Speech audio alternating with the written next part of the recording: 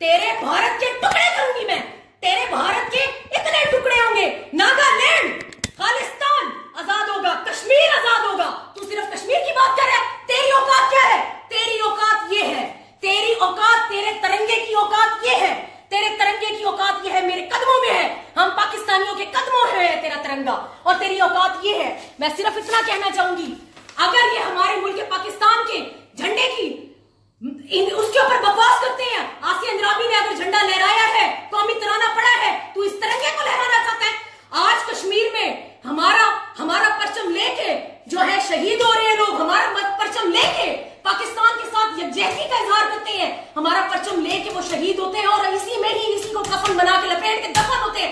तेरी क्या औकात है? तेरे तिरंगे की ये औकात है। तेरे तिरंगे को मैं ये जानती हूँ। और जितने टुकड़े मैं कर रही हूँ, भारत के टुकड़े इतने होने हैं। इंशाल्लाह